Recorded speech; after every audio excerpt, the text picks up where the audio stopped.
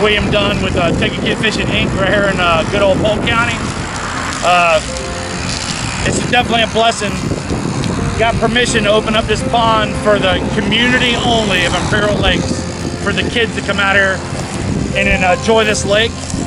Uh, the thing about it was, with so much vegetation and overgrown, I had to find a company to come in here and do this. And the good old Jackie Brown from uh, Tree Rehab volunteered his time and his uh, his guys' time to come out here, and a couple other companies come out here and do this for free for me. So now I'm, I'll be able to open this up, and the kids will have access to fish out here. How you doing? I'm the owner of Tree Rehab. I first heard about the project, get back to the community. Uh, Take a Kid Fishing organization contacted me. I agreed to come in, be a part of this amazing situation, and this is the outcome.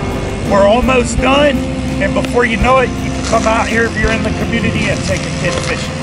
Thank you. You did an awesome job. Looks good.